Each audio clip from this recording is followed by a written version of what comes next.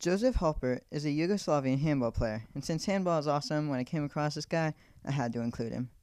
He scored 15 goals in six matches at the 1988 Seoul Olympics, in which they eventually won the bronze medal. And I don't even know if 15 goals is a lot for handball, but to me it sounds like a lot.